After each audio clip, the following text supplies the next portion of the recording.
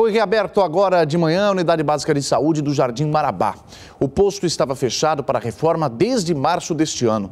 O prédio passou por melhorias na cobertura, piso, parte hidráulica e outros consertos.